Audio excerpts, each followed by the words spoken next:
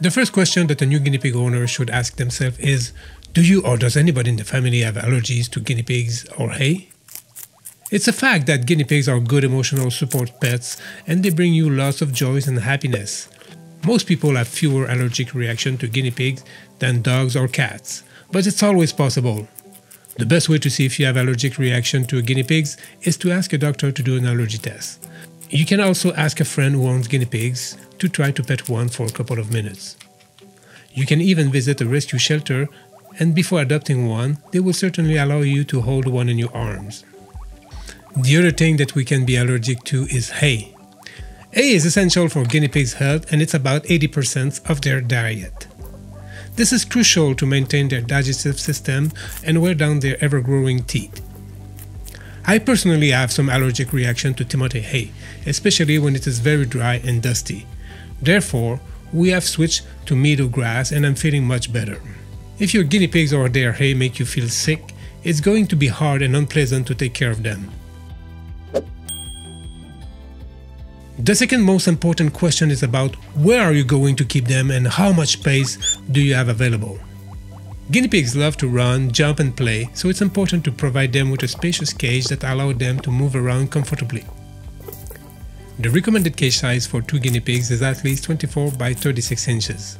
However, for more than two guinea pigs, the cage should be larger. For instance, a cage of 4 guinea pigs should be around 15 square feet. When you set up your guinea pig space, it's important to provide them with a calm and quiet place in a room that is big enough. You also need to consider a place to store all their supplies, the cleaning tools, and where you are going to dispose of the sole bedding, whether it's fleece or wood chips. The room must also have proper ventilation and consistent temperature. Guinea pigs are most comfortable when the ambient temperature is kept between 18 and 24 Celsius or 65 to 75 Fahrenheit. Temperature above 29 Celsius or 85 Fahrenheit could lead to a heat stroke. A fun fact about guinea pigs is that they cannot sweat like humans to regulate their body temperature. Because of this, they will drink more water during the hot summer days. The last important thing that not every pet store will tell you but every pro guinea pig's owner knows is that cage cleaning is very important. It is recommended to clean the cage thoroughly once a week and do some quick cleaning every day depending on how many guinea pigs you have and how big the cage is.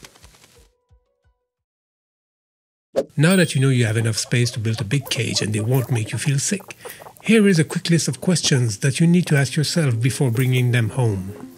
Are you willing to have two or more guinea pigs? Although some guinea pigs owner only have one for various reasons, it is strongly recommended, if not mandatory, to start with two or more. Most rescue shelters and even good pet store won't let you get only one if you don't already have some at home. The fact is that guinea pigs are social animals and they don't have WhatsApp or Snapchat to talk to each other. They feel less stressed and happier when they live together. Also, in some European countries, it is illegal to have only one guinea pig at home.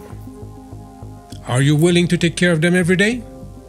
Talking to your guinea pig and petting them every day is very important to build a strong bond with you and to make sure they are doing well. Unlike other pets, neglecting your guinea pigs for just only one day can have serious consequences on their life. As a matter of fact, a guinea pig that is not eating for 24 hours is in serious life-threatening situation. Therefore, by petting and visually checking them daily, you can quickly detect signs of illness. Are you able to have someone who will take care of them if you are away? Guinea pigs need more than a large pile of hay and water to survive.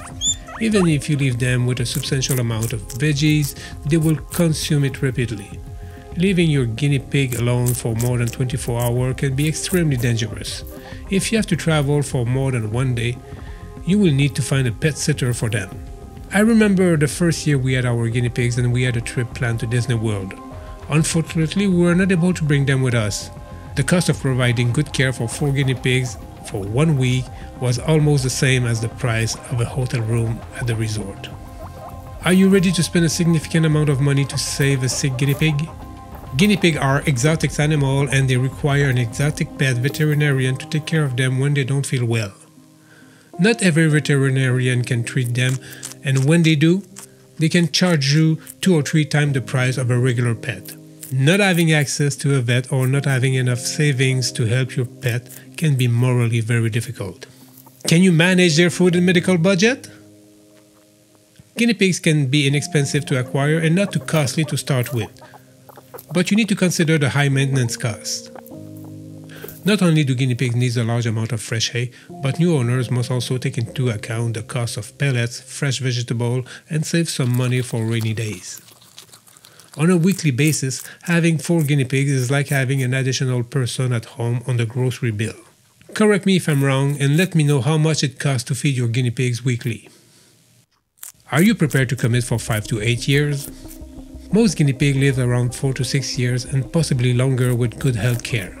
Thus, before getting guinea pigs, you should consider whether you can commit and maintain a stable lifestyle for the next 5 to 8 years.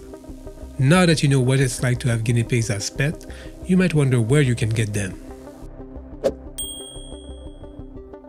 Before getting new guinea pigs, always ask yourself, where are you going to get them from?